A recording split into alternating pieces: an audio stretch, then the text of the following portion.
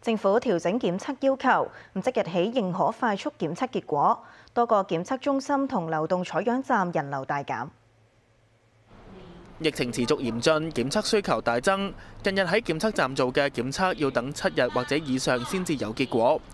政府更新檢測政策，包括係圍封強檢之後嘅定期強制檢測，或者係一般強制檢測改為快速測試。換言之，市民唔需要再到社區檢測中心嗰度做檢測，而快速測試呈陽性，亦都唔需要再做核酸檢測確認。喺鰂魚涌社區會堂嘅檢測中心，朝早仍然有市民嚟攞籌，但係未見人龍。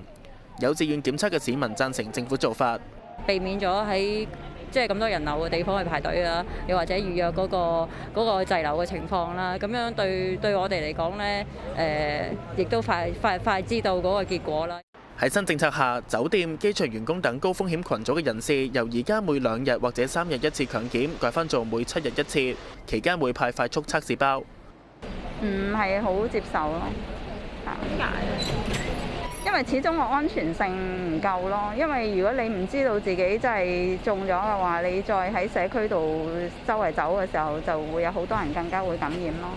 而喺黃大仙廣場對開嘅流動採樣站嚟檢測嘅市民亦都唔多，派手機亦都顯示唔需要輪候，成個登記同埋檢測嘅流程大約十分鐘完成。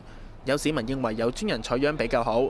快速始終都係誒自己測嘅，呢啲會準啲咯，會，因為佢連喉嚨都測埋。如果住附近，其實我唔介意每日都嚟嘅。至於由檢測營辦商揾到初步陽性嘅個案，亦都會直接視為確診，唔需要再交到衛生署公共衛生化驗服務處嗰度復檢。即日開始，多個流動採樣站亦都停止運作，包括修頓遊樂場、大埔體育館、長沙灣體育館等等。無線電視記者吳家軒報道。